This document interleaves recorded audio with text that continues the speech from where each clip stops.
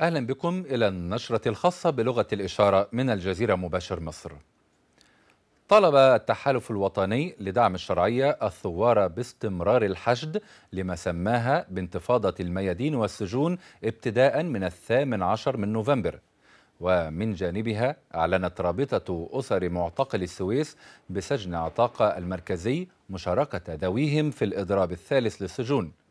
وقال المعتقلون في بيان إن أسباب انضمامهم للانتفاضة الثالثة تعود إلى الأوضاع المتردية والإهمال الطبي الذي يتسبب في وفاة المعتقلين إضافة إلى الأحكام التي وصفوها بالجائرة والتعنت في المعاملة. وأشار المعتقلون إلى أنهم مستعدون للتصعيد كلما دعت الضرورة إلى ذلك. شيعت ظهر اليوم جنازة أبو بكر أحمد القاضي الذي لفظ أنفاسه الأخيرة داخل سجن أسيوط العمومي بعد تعنت الإدارة في تقديم العلاج له وهو مصاب بسرطان المعدة والكبد والبنكرياس. وقد رفضت إدارة السجن طلب زوجته نقله إلى مستشفى أسيوط الجامعي بعد تدهور حالته الصحية حتى توفي في سجن أسيوط العمومي مساء أمس. قضت محكمة جنايات المنصورة غيابيا بالسجن المؤبد على سبعة متهمين من رافضي الانقلاب بمحافظة الدقهلية لاتهامهم بالتظاهر غير السلمي بحسب الحكم. كما قضت جنايات جنوب القاهرة بالسجن المؤبد على 19 متهما غيابيا وذلك لإدانتهم في قضية حرق مبنى الضرائب العقارية بمنطقة عبدين ووقعت عملية الحرق أثناء أحداث وزارة الداخلية التي اشتعلت عقب مذبحة بور سعيد التي راح ضحيتها 74 قتيلا من مشجعي النادي الأهلي في شهر فبراير من عام 2012 قدم وفد من نقابة الصحفيين ستة بلاغات للنائب العام ضد رئيس نادي الزمالك مرتضى منصور. وذلك اعتراضا على العبارات البذيئة التي وجهها منصور للصحفيين وأحد أعضاء مجلس النقابة بحسب الوفد.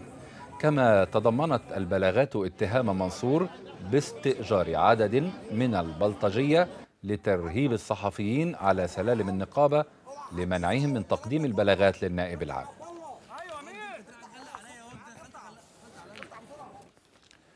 قالت مصادر عسكرية إن قوات الجيش قتلت ستة ممن تصفهم بالعناصر التكفيرية في قصف فجر اليوم شنته طائرات الأباتشي وألقت قوات الجيش القبض على 28 في حملة للجيش بشمال سيناء.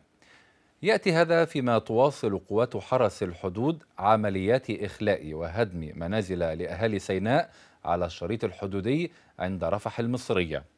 وقالت المصادر إن عدد المنازل التي تم إخلاؤها وتفجيرها تجاوز 600 من إجمالي 800 وذلك في إطار إقامة منطقة عازلة بين مصر وقطاع غزة.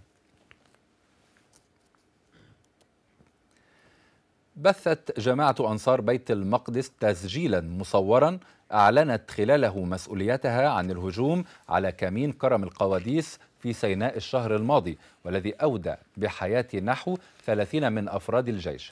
ويظهر التسجيل لحظة تفجير الكمين بوساطة سيارة ملغمة ثم قيام مسلحين بمهاجمة الجنود الذين نجوا من التفجير وقتلهم والاستيلاء على كمية كبيرة من الأسلحة والذخائر النوعية التي كانت موجودة في الموقع. كما يظهر السيطرة على دبابة ومدرعة تابعتين للجيش ويوضح تغيير اسم الجماعة إلى ولاية سيناء بدلا من أنصار بيت المقدس. وتمتنع الجزيرة مباشر مصر عن بث مشاهد دموية جاءت في التسجيل المصور.